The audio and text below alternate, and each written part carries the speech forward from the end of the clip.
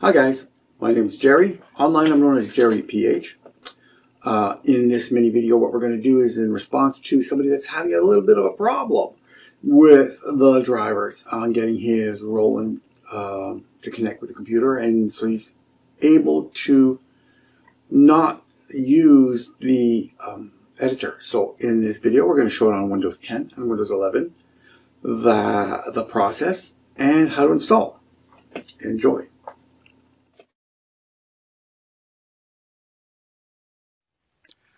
Okay guys, so what have I done?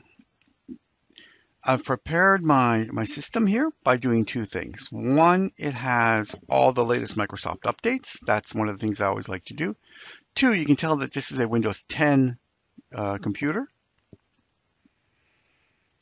So what we're going to do here is I'm just going to go and prepare the two things that I need. Actually, it's only one thing that I really need. Uh, to, to run the editor, I only need Java. And let's take a look and see if I have Java installed. I believe that I installed it uh, a couple of days ago. That's the latest version. So if I come here, type Java. Uh, actually, here, it was installed this morning. Good. Awesome stuff. Okay, so we have the latest version of Java installed. What are we missing? We're missing the editor file. So if I didn't know where to look, I would Google it, which would be Roland FR8X drivers. Okay. And here I have all the, the Roland uh, support files that I need. What we're looking for is the editor, right? So if I come here, there's the editor.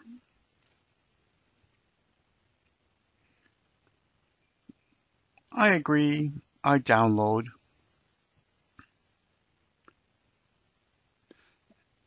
Let's open up this. So I'm just going to show it in the folder.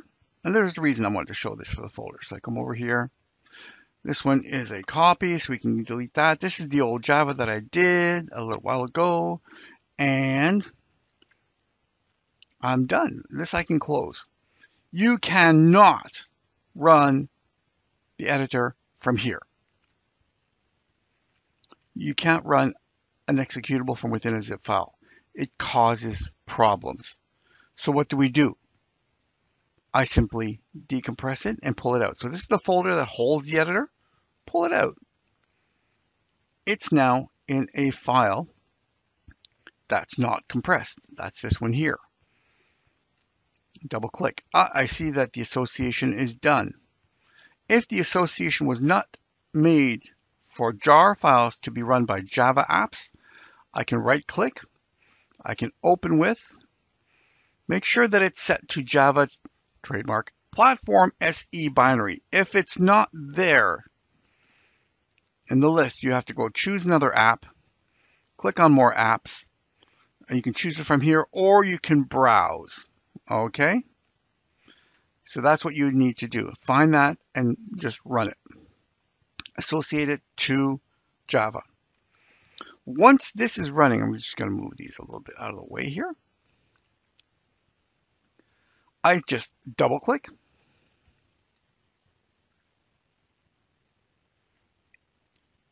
And of course, it's not running. Why is it not running? Two reasons. Number one, it's not, the accordion is still not plugged in. Let's go through that process together. Okay, so here is my, my 8X. This is my, my plug. You can see I'm going to take the plug, insert it. Does it do anything? Not yet. Why? Because it's not turned on. So let's turn it on. What's the next thing that's going to happen? Wait for that little dink dink dink. It seems it's recognized something. I take a look here. Nothing there. Good. Let's refresh it. May take a little while, but we refresh.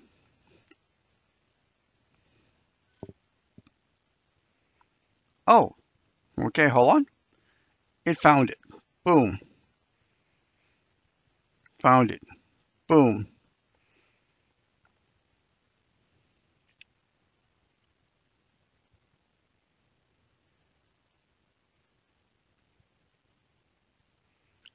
And it's reading the lists. So this usually happens twice on the first time.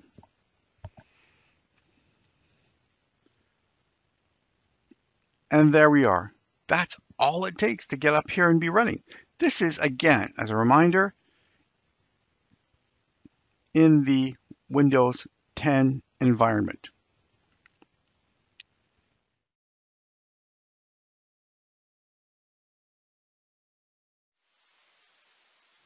Okay, so here we are on the second system. This one is a Windows 11, so you can see that this works here. I'm going to use basically the same process. One of the first things that I'm going to do is I'm going to make sure that I have Java installed. So let's take a look in my add and remove. We're going to take a look and search for Java. Java's not installed. Let's install it on this one here. So if I don't know where to go, java.com, let's go to do Google and do something like um, Java for Windows. And it has for Windows for 11. Cool. I'll take that since that's what we need. And here we go. Here's how to do it. Java downloads. Java 18 and 17 are available. Great. So we can go here and take a look at the kinds of systems that we have. We have these here. So we can do the actual downloads from here. Now, if I wanted to do it a little bit simpler, instead of looking all around for it, I can just type download Java Windows 11. So which bring me right to the actual download section. Or I can say, okay, Java downloads here. Java downloads all operating systems. And this is for all versions of Windows. Cool. So I just click on that. And once that's installed, let's open it. We can show it in the folder or open it It'll say, do you want to run this? Sure. This is just that little executable. And if I had previous versions of, of Java, I can remove. Always good to remove old versions before installing new ones. But we don't have any Java here, so there's no reason for this. Let's install. Right now what it's doing, it's downloading the big file. What we downloaded previously was just the executable or the runtime. And it seems to want to start on my other monitor, so I'll just drag that over here, and you can see it's already started, the installation.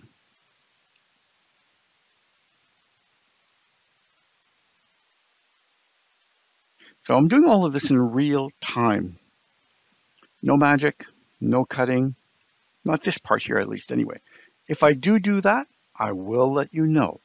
So again, I've installed Java successfully. Cool. What's the next thing we need? The editor. Fantastic. Where do I get it? I don't know. Roland, FR-8X in my case. Editor. Or if we wanted to say drivers, same thing. So I want to get my support from the main page and I have everything that I need right here. We're looking for the editor, which is right here. Okay, if you want for the Mac, it's here, but for us, what we want. So I scroll down to near the near the bottom, or and then actually it's closer to the middle. I click and I download the file. Once it's finished, let's take a look at it from the folder.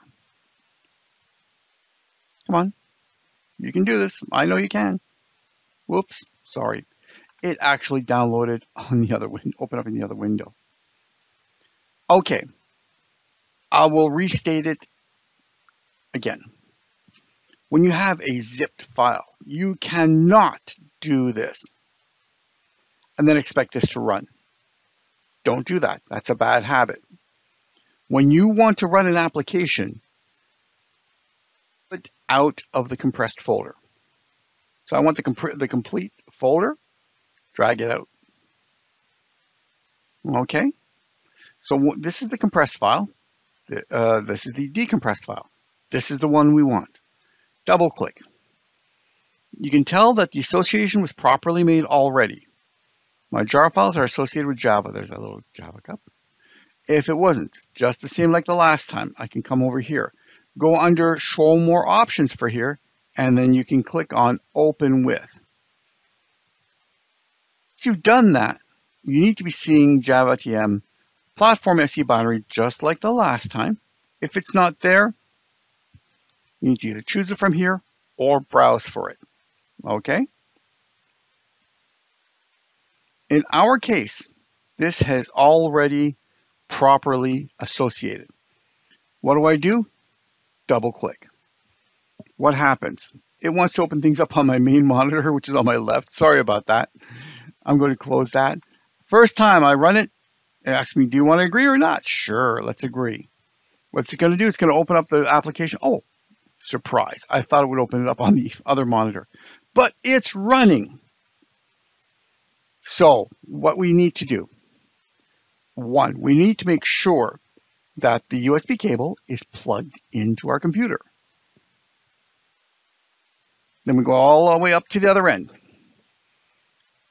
And then we're going to simply plug it in to the 8X. Oops. Okay, so I'm going to now, here's my plug. Here's the 8X. I'm going to plug it in. What's going to happen? Nothing. Cool. Let's turn it on. It's turning on. What's happening? Nothing. There's nothing here. Well done. Is this, does that mean it's not going to work? Hang on. Refresh. Sometimes you might need to do a couple of refreshes. Let's find out what happens here. Oh, hold on. There it is. Boom.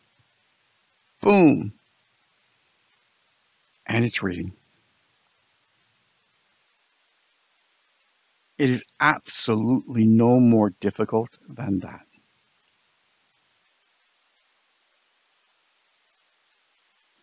Of course, the first time you load it, it reads everything in terms of your UPGs and your, your set that you're loaded into, okay?